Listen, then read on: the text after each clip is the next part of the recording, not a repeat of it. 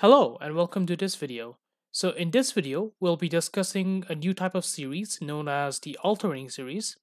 And we'll also be discussing a test for that particular series, known as the alternating series test. So let's get right to it. What is an alternating series? So an alternating series is a series of the form, so let me just write down my sigma. It's a series of the form negative 1 to the power of n times bn or sigma of negative 1 to the power of n plus 1 times bn. Any of the any series of this form is known as an alternating series. So let's go ahead and write that down. So these anything of this form is known as alternating series. The reason it's alternating is because of course it if you notice the sign of this thing at odd values this will be negative and at even values this will be, this will be positive. So look something like this for example possibly or even something like this. Now the question is though, does this thing converge or diverge? And it turns out that we have a test for this. Now, we have the alternating series test, as I mentioned in the start of the video when I mentioned the title. But the thing is that the alternating series test can only be used to prove that the alternating series converges. We have to use an alternative method to prove divergence for an, alter- for an alternating series. But that being said, let's go ahead and write down how an alternating series test works. So let's go and write that down. So we have the alternating series test. So alternating series test. Okay, so this is a test that can be used to prove the convergence of an alternating series. So let's go ahead and write down this test. Okay, so suppose that we have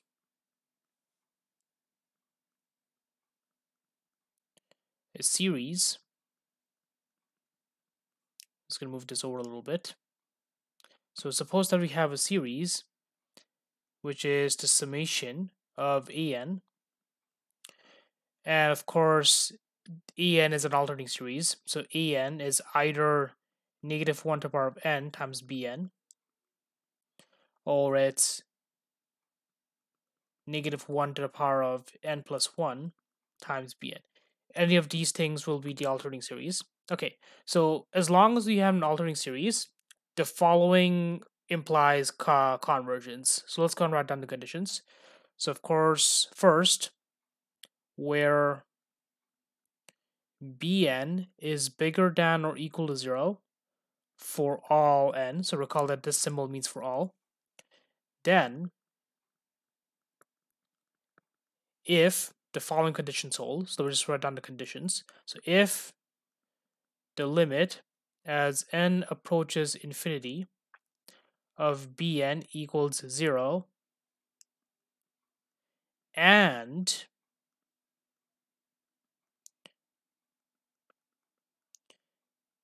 the sequence overall. So when I say the sequence I mean the terms in the series is decreasing. So if this is all true, so if you have an alternating series where the terms are bigger than or equal to zero, and if the limit uh, of the terms go to zero, and this is a decreasing sequence, then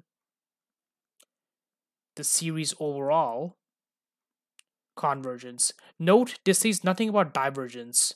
In order to prove divergence for an alternating series, we'd have to do something else. So, but this is a test for convergence. So, how does this test work? So let's do a few examples of this thing.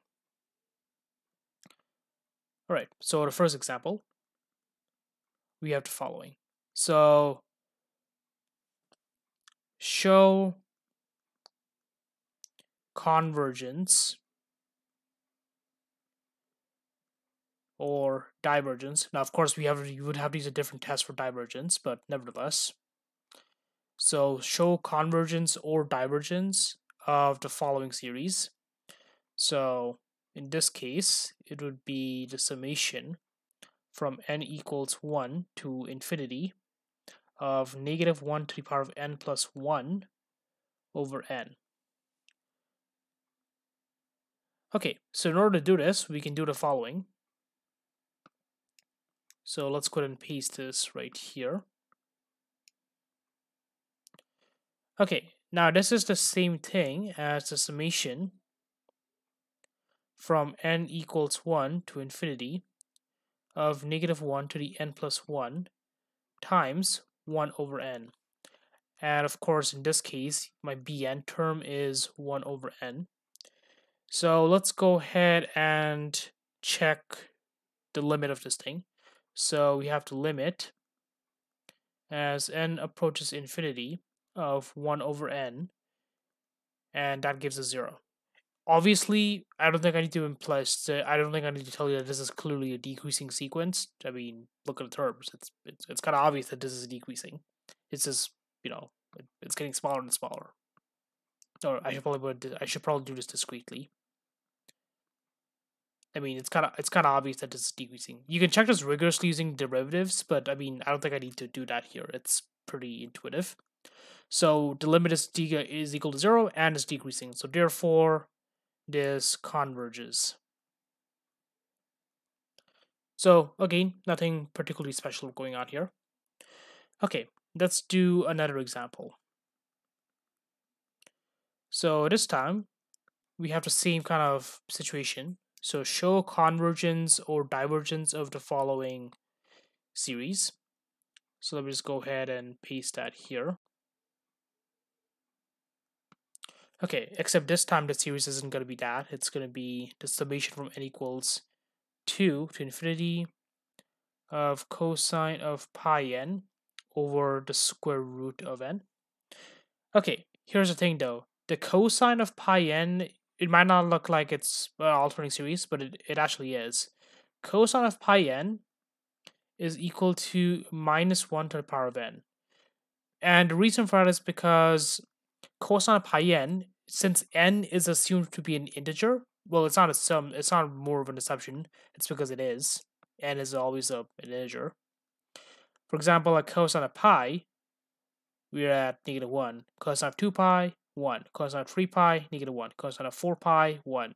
And so on. So it will always alternate back and forth between negative 1 and 1. So as a, as a result, we can technically rewrite cosine of pi n as negative 1 to the n. If n is, you know, an odd number, this will be negative. If n is an even number, this will always be positive. So that's kind of how this works. All right. Now the question is, you know, how does this help us? Well, this is good because now we can replace the cosine with negative 1 to the n. So we get the summation from n equals 2 to infinity of negative 1 to the power of n over the square root of n. But then we can rewrite this in the following way. We can rewrite this as the summation from n equals 2 to infinity of negative 1 to the n times 1 over the square root of n. So our bn term is 1 over square root of n. So bn equals 1 over the square root of n. So what does this imply? Well, once again, we can take the limit of this thing. So the limit as n approaches infinity of 1 over the square root of n, well, that's going to give us 0. And by very similar logic, once again, this it's it's kind of obvious that this isn't decreasing. And if you're really interested, you can check this using derivatives, but it's kind of obvious that it's decreasing. So therefore, because it's decreasing and the limit is zero, this implies that the series in question, so the original series that we were kind of working with, this thing converges. You might be asking, how can an alternating series that goes back and forth between negative 1 and 1 converge? Well, here's the thing. Now, this is just a brief illustration, but the series could theoretically look something like this, in which the alternating terms back and forth eventually just kind of die down to one fixed value like that. This happens all the time, all the time actually, in the case of oscillations and many other kind of physical phenomena. But eventually, it kind of dies down. It's kind of the same idea in this situation as well. All right. Now let's go ahead and talk about another example. This one is a little bit more work, but it's still not too bad for the most part. Okay, so let's talk about this particular example. Okay, so this time we have, so let me just go ahead and copy paste the same thing. So show convergence or divergence of the following series. And as I mentioned, this can't be used, this cannot be used to prove divergence. We would have to use some other test to prove for divergence, which we'll do later. But nevertheless, let's just go ahead and continue this.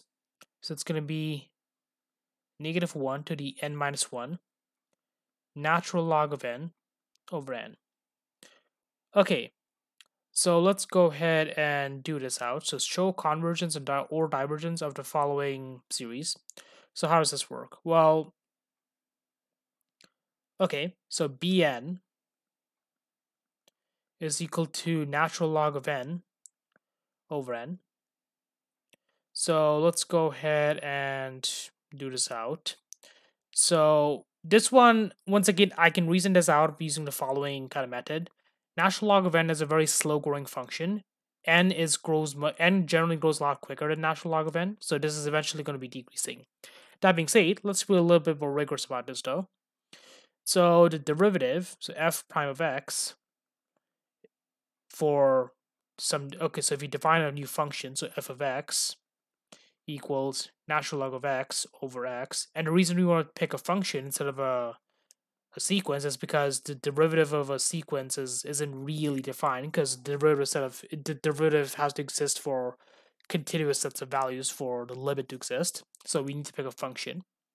That being said, if you take a derivative, you'll get 1 minus the natural log of x over x squared. And then in order to, you know, show that it's decreasing, well, this has to be less than 0. So this gives 1 minus natural log of x is less than 0, which means that 1 is bigger than the natural log of x, or e is less than x, meaning that when x is bigger than e, this will be decreasing. So for all x bigger than e, it'll be decreasing. So that's fine. So this, uh, in other words, what does this mean? This means that bn plus 1 will always be less than bn for all n bigger than or equal to 3. Great. So that's good to go. So we're good to go here. So let's go ahead and do the limit of this thing. So if you do the limit as n approaches infinity of natural log of n over n, now let me just go ahead and erase this actually.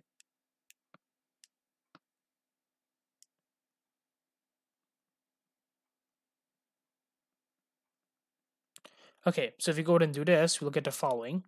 So plugging infinity over infinity, uh, plugging infinity, we're gonna get infinity over infinity. I just spoiled it there.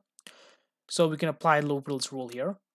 So if we apply L'Hopital's rule on this thing, we'll get the following limit. So we'll get the limit as n approaches infinity of 1 over n divided by n, but that's going to give you 0, meaning that this thing converges to no one's surprise. Okay, so with that, I've covered every example of the alternating series test, and with that, we're also done the video.